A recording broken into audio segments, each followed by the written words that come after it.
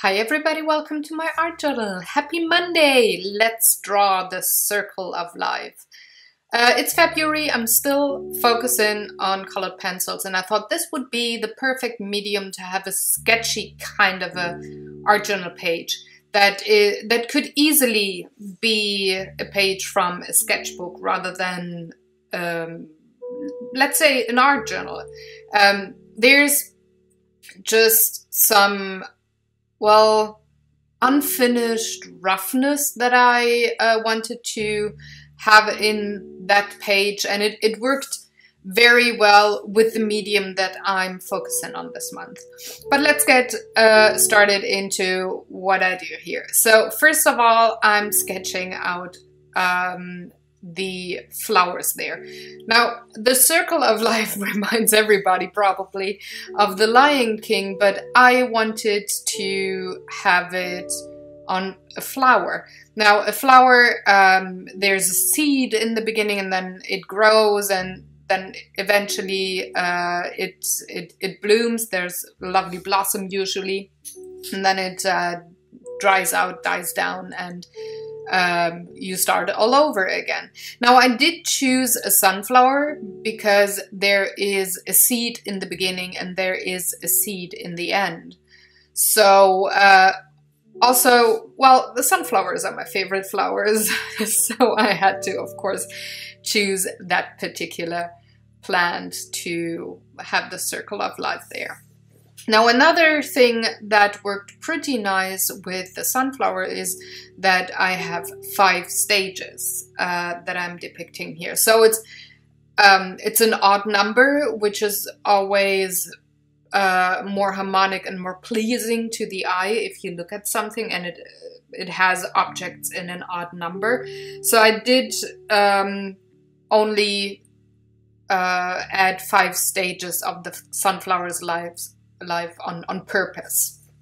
Now, why why did I do um, the circle of life? Well, these weeks, um, like mid January to mid March, we do have a lot of um, well birthdays and anniversaries in my family. So uh, there there's pretty much from every stage in a human's life so uh, it's way more obvious than that since it is so crammed together in that short period of time that there really is a circle of life. Uh, and when you uh, transfer that to human life there's birthdays there's uh, dating anniversaries there's um, anniversaries of people passing away. And uh, it was particularly obvious that week because we had the dating anniversary, we had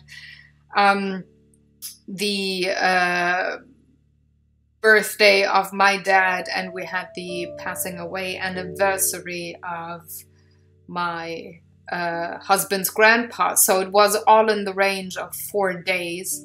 And that pretty much made me thinking about the circle of life and just the way of life and how things go and how every stage has a very beautiful uh, core, though maybe horrible things happen. Maybe it's uh, like, for example, passing away isn't easy, and uh, there might be pain. Uh, there is, of course, pain for the people that stay behind, but that's a part of life, and that um, it's just one tiny bit in that circle of life. So it made me think a lot about that subject, about lifespan, about um, that no matter how shitty parts of life can be, there's always some beautiful core to it.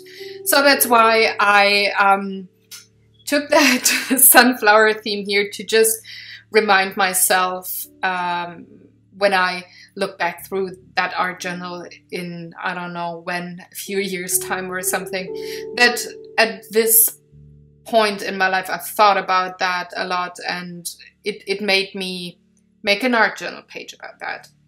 So Coming back to the technical things of this painting, I sketched out everything and then I uh, colored all of the pieces with uh, colored pencil. I'm not gonna use uh, paint thinner this time. I want this page to look kind of rough, unfinished, uh, sketchy, uh, textured, so I cannot go in with paint thinner and blend everything out. I'm blending with the different kinds of colors that I'm using by layering them and burnishing a bit. I do have uh, a bit of blending going on and smoothing things out, but I'm trying to stay pretty, pretty rough here and kind of raw and unfinished. So I did choose pretty warm colors. There's a lot of uh, light ochre and yellows, of course, but also with the browns and the grays and the greens, I stayed with warm tones. So there's quite a bit of yellow in that green and not really a lot of blue. It's, it's more of an olive green there.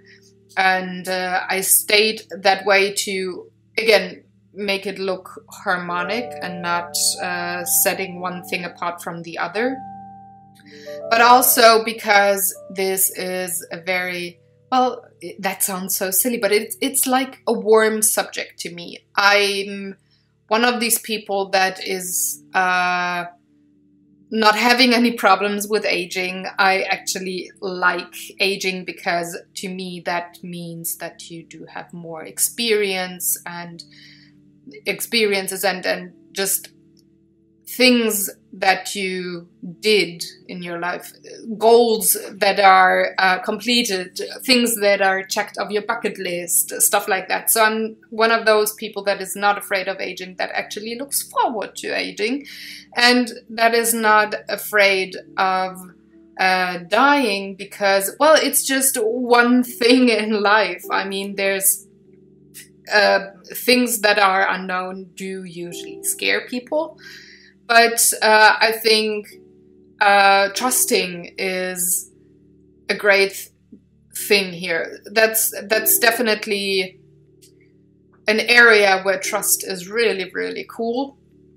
And I'm just trusting. I'm not believing in afterlife or anything. I'm just trusting that um, it's all cool. So uh, I that that has kind of a warm feeling in my body and soul, so that's why I chose the warm colors here. Now, once I had that sketch finished, I just uh, wrote down the quote or the name of the page, gave it a frame, and that's that. It's very simple. Again, it's one of those pages that has a very deep story and thus I do stay very light on the technical part of drawing slash painting here. I hope you enjoyed watching along. If you have any questions or comments, leave them in the comment section below. There's lots of close-up photos on the blog post for this uh, uh, page here, just hop onto my web page. It's in the description bar below. I will see you tomorrow with another Tiny Tuesday and next Monday with a new art journal. Have fun, take good care, do all the good YouTube stuff, and have a lovely day. Bye.